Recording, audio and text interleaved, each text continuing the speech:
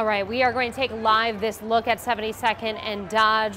We've been watching this feed right here, and we did see quite a bit more tear gas being deployed and some people running in that direction. John Kipper is still live at the scene. John, can you tell us what you were seeing out there? Yeah, yeah Jenny, uh, it just happened in the last minute or so. We saw multiple um, tear gas explosions, people just heading right over to our um, where we're standing here in the Target parking lot. Um, so now we have hundreds of people kind of just walking our direction, and I can uh, I can definitely um, feel the tear gas. You can definitely feel it in your mouth. It's not even all that close to us right now. Um, if you just want to hear the audio, people coughing. Um, people got hit pretty good. Our photographer Wade Lux says he believes someone might have got, actually got hit by that tear gas um, grenade, or again, I don't know the correct lingo, but um, yeah, you can definitely smell it now. People coughing. It's um, we keep saying it's getting it's escalating, it's escalating, but Jenny, seemingly every time it's escalating more. Yeah, Omaha police saying earlier they're using the least amount of force possible. We just saw someone take off a shirt there. A lot of times people are taking off clothing to breathe into. We could see people walking by coughing, rubbing their eyes. Um, and John, I was wondering, you know, earlier this evening we saw hundreds, if not more than a thousand people out there. Do you think this crowd has has lessened at all? It's obviously still a large crowd out there. That's a good question. It's hard to tell because obviously the crowd just keeps changing. Sometimes they're in one big cluster, sometimes they're scattered. I think overall there may be a few less people, and I have definitely seen some people decide to leave, but there's a large group of here that have been here for quite some time. I'm guessing some people have just recently arrived um, when they realized that a lot was pop, like going on. We do see one right now, one man just holding his face. Um, looks like he might have been the one or one of the people that got hit um, by something that the police is using. Um, but yeah, Jenny, it's just hard to tell exactly how many people came after things escalated, how many people left. It's unclear, but still, I would say hundreds of hundreds, if not thousands, here. Yeah, and the divide we seem to be seeing is we see the officers in the riot type gear in the street, and it seems like, John, so that's the thing, they're trying to keep them off of the road there. Is that correct? Yeah, that's that's been the battle the whole time, and um, people just didn't want to get off the street. And originally, this protest wasn't planned to be on the street; it was planned just to kind of be in the area. But I'm sure police knew that this was a possibility. And again, it goes to the question, you know, who ultimately let who went on the street first? Was it the people that decided to hop on, or did police start to shut stuff down? Um, and that's when people just started to resist. It's it's unclear, and we'll never know. But pretty bizarre scene, right? One of the busiest intersections in Omaha. Dozens of police officers in riot gear, like you say. You know, we hear chanting from time to time, but is there anyone, um, have we seen or heard anyone like with a megaphone trying to get a message out or trying to talk to talk to the people, or is it more just the individuals just chanting on their there own? There have been a few, uh, like it, not necessarily with a megaphone. There were a lot of protesters here that were telling people to stop throwing water bottles. Um, one of them that was telling people this was one that said he actually got hit by a rock. Um, so protesters are actually, you know, hurting other protesters.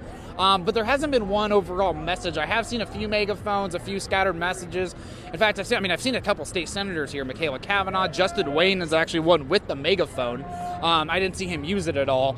Uh, but just all sorts of different various messages going on. Um, no one clear thought. Yeah, we're just watching in a little bit. If you're just tuning in, this is a live picture from the area of 72nd and Dodge. It looks like most of these people are back in the Target parking lot, if you're familiar with that area. Omaha police has put out the word that they do not want any more people coming to this area.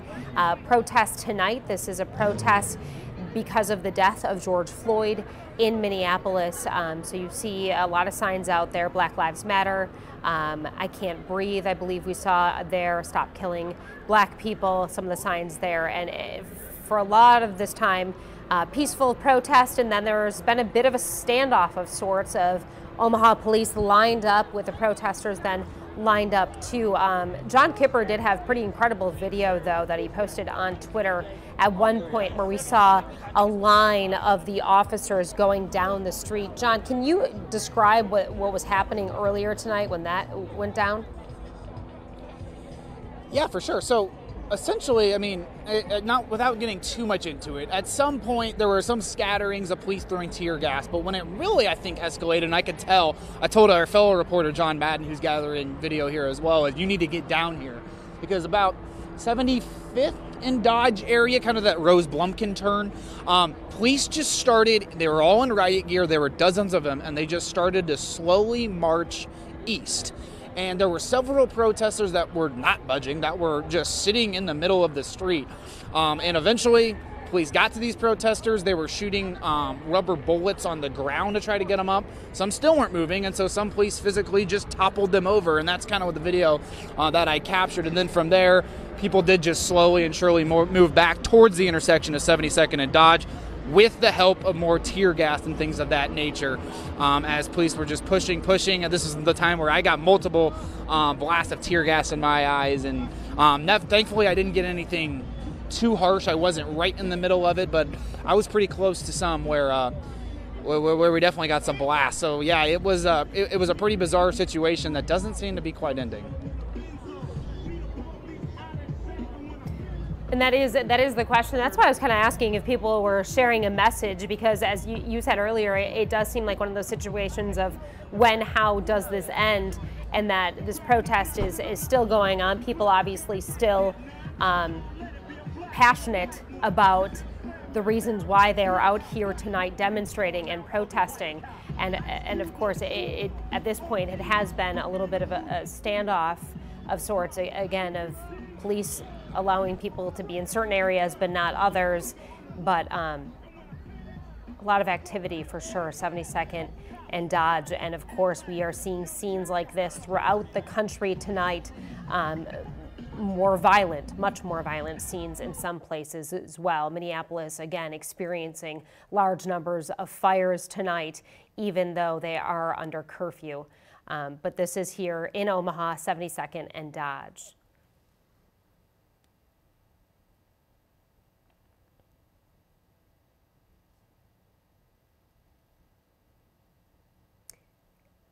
It sounds like we might have lost John Kipper's audio. We're waiting to hear from some other reporters who are uh, live on the scene as well. We've had a, a, few reporters down there gathering from different directions. And looks like John Madden is trying to get in front of the camera, but it looks like it also froze up a little bit. Um, so we will continue to try to get that live shot for you. Um, again, Omaha police telling people to stay out of this area. This is earlier. So this is when it started around 6 p.m., very peaceful. And then you see here, this is the tear gas that was deployed.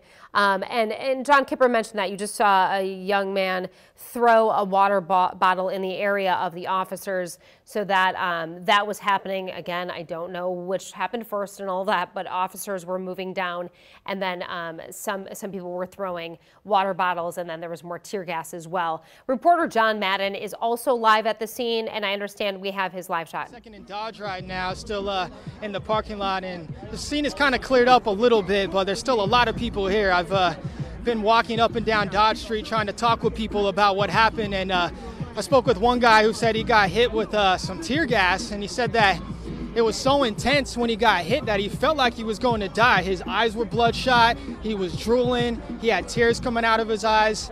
Uh, I spoke with another person, uh, a girl who had got hit with tear gas as well, and kind of the same thing. Um, seems to be a lot of commotion right now. People keep running back and forth.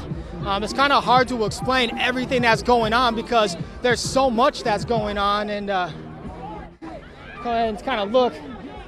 There's been uh, mortar shells that have been going off within the crowd, and uh, people have been throwing stuff at the cops. the tear gas, I can, I can taste it in the back of my throat. It makes you cough. It makes you uh, makes your nose no run. No peace. And it's uh, it's not a pleasant experience. So a bunch of people have been uh, getting hit with it. People have been throwing mortar shells into the crowd of the cops, and uh, you just hear random explosions going on. It's uh, it's pretty crazy. It's uh, it's not fun being out here. Um, I haven't seen anybody uh, get arrested.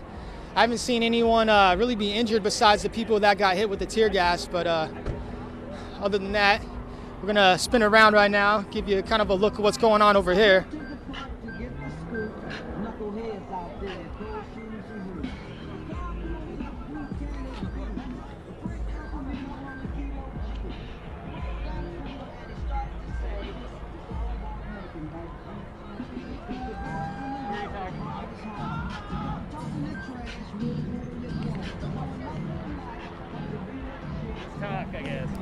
Hey, John, we are still. Okay, on- still out here on 72nd and Dodge, uh, trying to give you an idea of what's going on right now. A lot of people have been uh, kind of going back to their cars in this Target parking lot, but uh, it's been a been a pretty crazy scene ever since I got here at 8:45, and obviously it started a lot sooner than that. Uh, the police are still down on 72nd and Dodge, really just blocking that intersection, not allowing cars to go through, uh, preventing protesters from coming through as well. Uh, spoken with a few people who have been hit with tear gas tonight. Um, I've gotten some uh, whiffs of it as I've been walking up and down Dodge Street, and uh, it'll make you cough. It makes your eyes water. It's, it's not uh, it's not anything that you would want to have to go through. Um, the people that I spoke with talked about how intense it was when they got hit with it.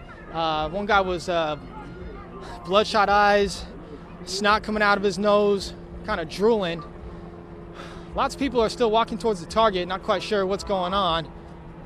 I'm just gonna kind of hang back here, but um, yeah, a lot of people have kind of cleared out, but it seems like the majority of people are really around in this parking lot right now. A couple people I spoke with also told me that uh, they were trying to be peaceful, but people were ended up throwing stuff at the cops. I saw people throw water bottles, and here comes some here comes some cops right now, walking into the Target parking lot. Walking into the Target parking lot.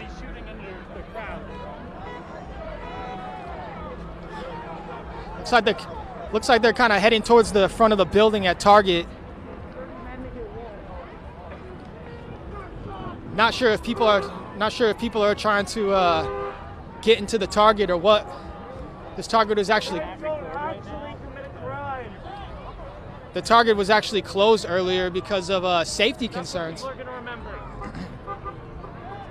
Just gonna kind of give you a look right now what's going on.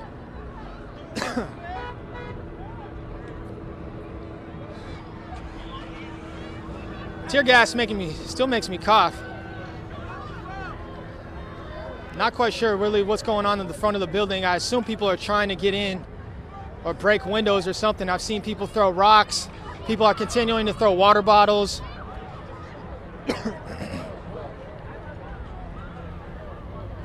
we are seeing a lot of people then run out of that way, out of that direction. So obviously, as the police are per- approaching the building, this is uh, looks like trooper on the back of that. So it looks like we're talking about police and uh, state patrol probably.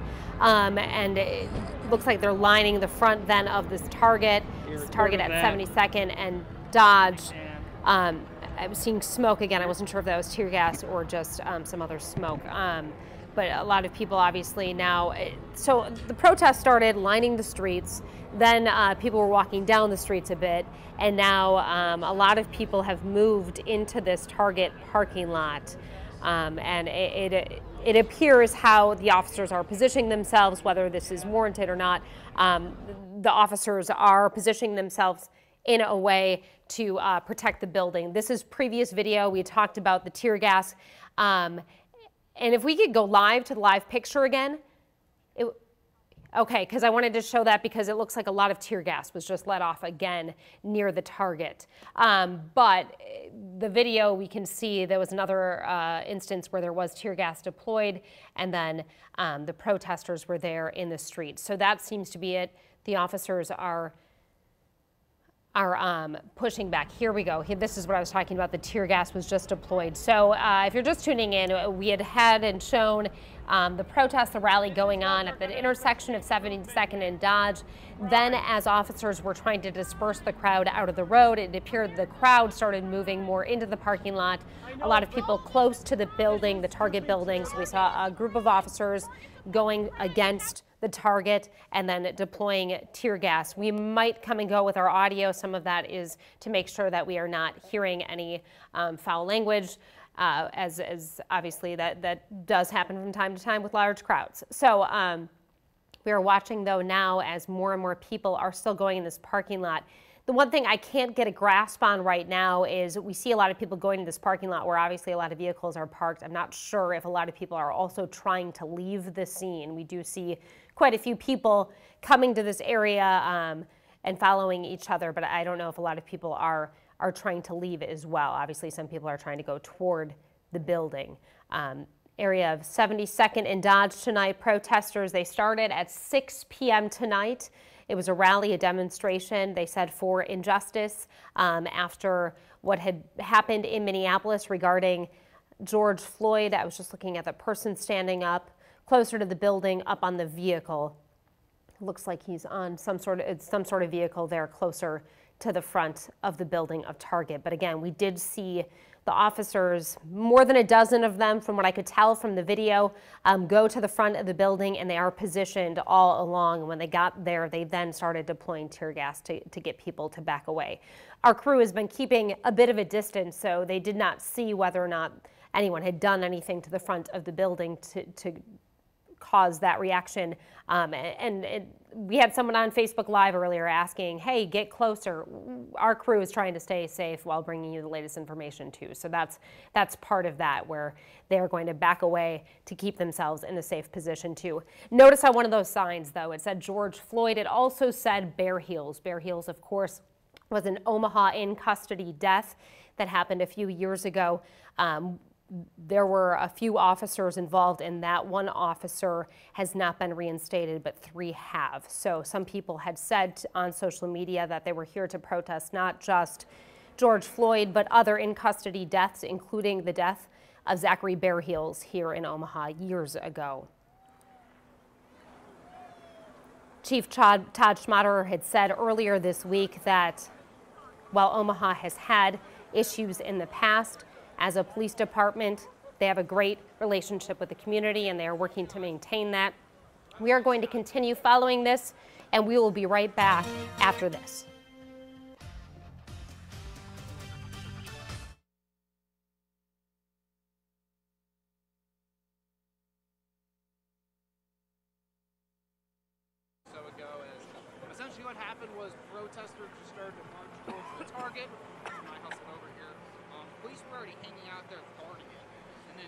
Police officers began to come over, and that's when people got angry, throw water bottles.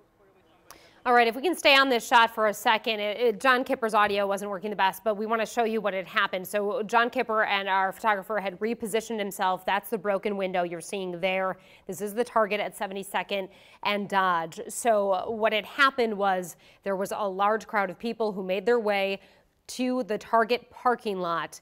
Um, and we saw people in that area, a bit of a crowd situation. And then uh, John Kipper went and he saw that this window had been broken out. Around that time, we then noticed uh, this group of officers come deploy tear gas and line the target right there. People then did disperse. Uh, John Kipper was reporting that um, police were now sh were shooting rubber bullets um, at people in the area as well. So definitely making sure people got back. Um, of course, uh, we know this target had closed earlier today because they knew that this protest was happening. The audio, I believe, has been fixed, so let's go live to John Kipper. Yeah, Jenny, right now we're in front of Target on 72nd and Dodge, and protesters have broken a window, but after that, police pushed them back. Um, essentially, what happened was I saw protesters heading this direction. I ran over here. A few police officers were already guarding the building. More came along. People started to um, throw things towards the building. Water bottles, clearly something a little harder than a water bottle, breaking the top right window on Target. From there, police began to frequently spray rubber bullets. People sprinted out of the way, including myself. And then obvi- we're able to get a handle on the situation. The worry now is many said they were heading towards Best Buy, which is just to the west of here. Um, so unclear if police are also guarding that building or not. Uh, so obviously a very fluid situation. Yeah, John, that is a, a, good point. I mean, this area, as everyone in the Omaha area knows, is has a lot of businesses in this area. We obviously know it's a huge po police presence down there. Um, I had seen that possibly some surrounding agencies were, were coming in to help. We know State Patrol was coming in to help, as well as uh, Omaha Police State Patrol helicopter was was involved, as was um, uh, Omaha Police helicopter. It looks like, for the most part, police officers there. Hey, John, ha have the protesters pretty much left this parking lot now, though?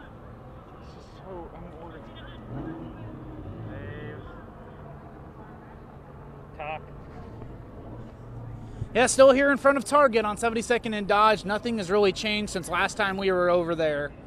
Um, police still guarding the building as some protesters still hover over. The worry now is they headed towards the Best Buy store just west of here. Uh, I will head over there as soon as I get a chance to to see if anything's developed. It's also unclear um, if exactly police are over there or not. Uh, so obviously a very fluid situation here. Um, the right window in Target has been broken. Nothing else seemingly was broken after that. Uh, so we'll just see how the night plays out. If I was seeing it correctly, it looked like actually two windows at Target had been broken. One was a lower one and one was a higher one there. One thing to note, a lot of people look appear to be leaving the scene here. So that is one thing to note here near the area of 72nd and Dodge, but obviously all across the country tonight. A lot of people with anxiety and feelings of wanting to be heard are showing up in different communities. This one is here in Omaha, and uh, it's something we will continue to follow. It's something we will be following and be bringing you throughout the weekend and into the evening. You can always find the latest on our website, 3newsnow.com, and social media. But thank you for watching tonight, and please be safe.